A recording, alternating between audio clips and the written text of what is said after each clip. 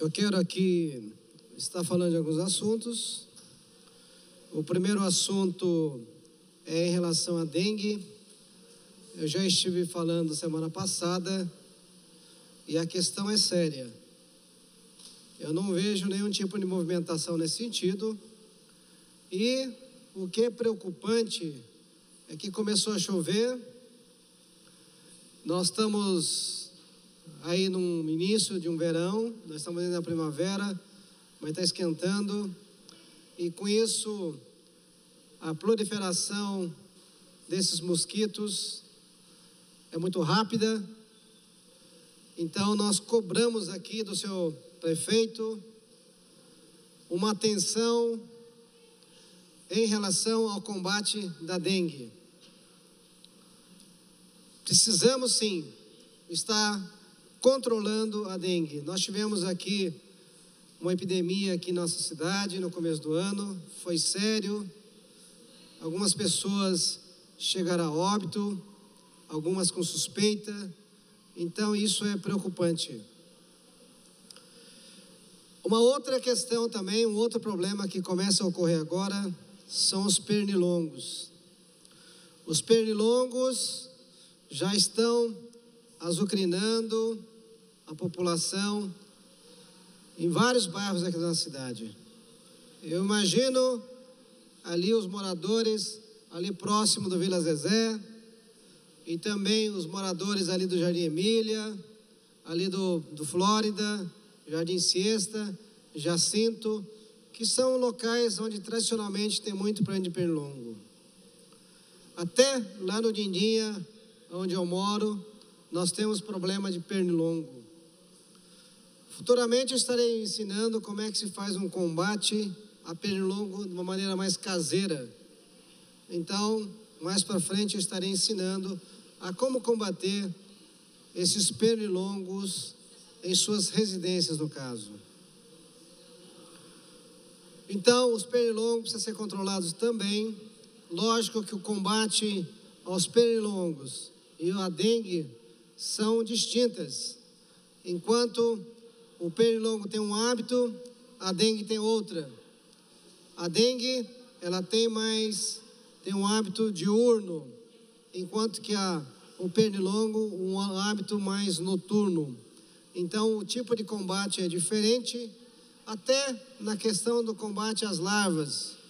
Normalmente, os pernilongos, aliás, é, as larvas do Aedes aegypti, que é da dengue, ela se procria em águas limpas.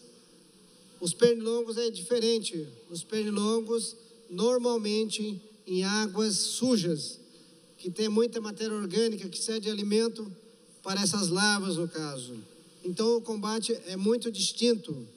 Então fica esse alerta desse vereador ao combate tanto da dengue como também dos pernilongos.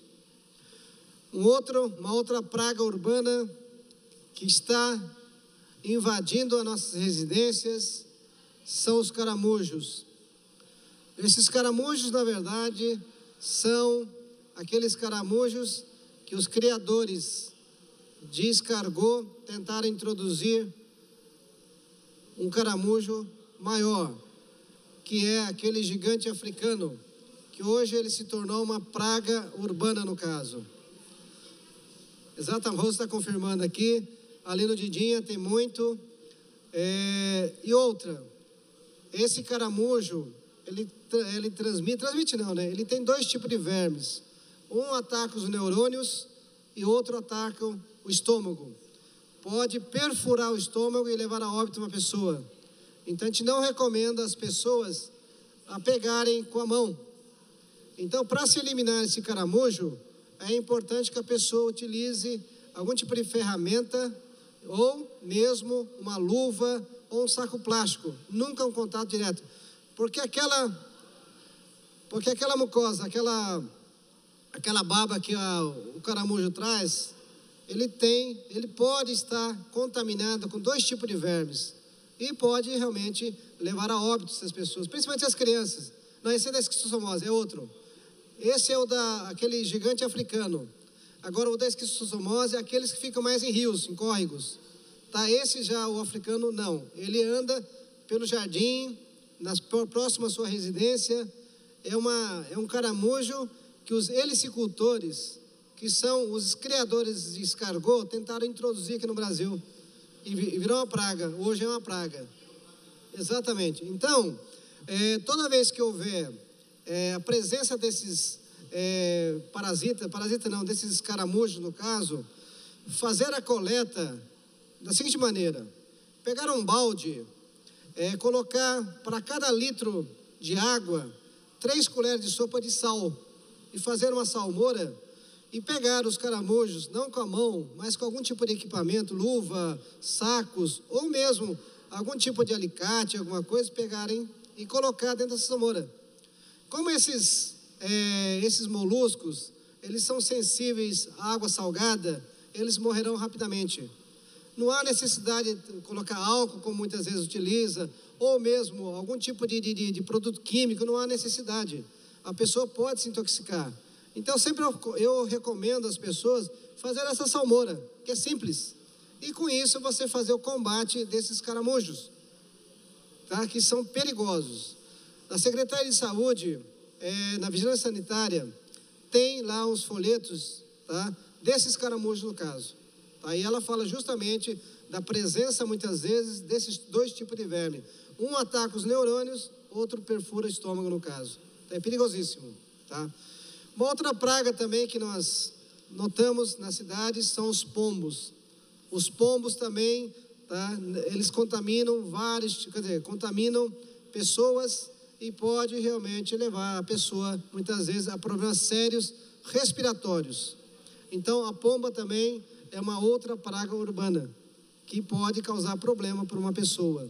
Então, fica esse alerta tá, ao senhor prefeito, no sentido de começar a se preocupar com a dengue, com os pernilongos, também com os caramujos, tá certo? Que são realmente, eu acho que os, os pontos mais importantes hoje para se combater. Tá? Então, isso a gente cobra da própria vigilância sanitária, nesse, da, da vigilância é, da saúde, no caso, né? Bom, é, um outro assunto que me preocupa é a área rural as estradas rurais. Nós temos aqui, em parceria com os vereadores, é, eu e mais três, quatro vereadores, nós propomos aqui nessa casa uma mudança na lei orgânica em que permite que a prefeitura faça é, manutenção nas estradas de acesso à sua propriedade.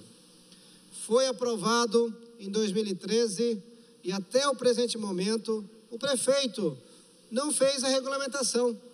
É importante destacar que nós é, fizemos até uma minuta, uma minuta em que orienta mais ou menos o prefeito a como fazer, por exemplo, a essa cobrança, como faz funcionar esse serviço. Então a prefeitura, ela está autorizada pelo legislativo, tanto é que está na lei orgânica, de fazer um serviço para recuperar o acesso das propriedades rurais. Eu tenho em minhas mãos aqui, viu, Arildo? Viu, Arildo? Eu tenho aqui aquela minuta daquela lei, da lei orgânica que nós alteramos para facilitar, acesso a propriedades rurais, tá? Então nós chegamos a fazer a minuta e eu estarei aqui, o Paulinho do Esporte, ele me pediu, então está encaminhando para o Paulinho para cobrar o prefeito no caso, tá? Eu acho isso é importante, Arildo. Eu também andei cobrando até em função que você me pediu. Eu tive na infra, conversei. Eles estavam fazendo realmente é, esse montando como é que seria a forma de cobrar. Mas olha, eu, eu confesso que já passou bastante tempo. E eu também vacilei nisso. Então, bom você reforçar que eu vou ajudar a é, reforçar. Você também faz parte do. Sim, sim, interesse. Eu sou lei, né? coautor junto com você. Né? Então, Tá, e o próprio Adenilson, outro dia, da Desenvolvimento Econômico, ele me cobrou também. Falei, como é que ficou? Eu falei, eu que pergunto para você, falei para ele, como é que está a situação desse projeto, dessa, dessa lei no caso, né? Porque é importante destacar o seguinte, é, nenhum particular, nenhuma empresa particular, ela vai fazer esse serviço numa propriedade, porque ela exige o mínimo de horas. Só para complementar, É, então, para você fazer a melhoria de um acesso, por exemplo, é questão de algumas horas, não mais do que isso. E uma empresa privada, ela vai pedir pelo menos umas 100 horas para levar o equipamento, a máquina para fazer o serviço.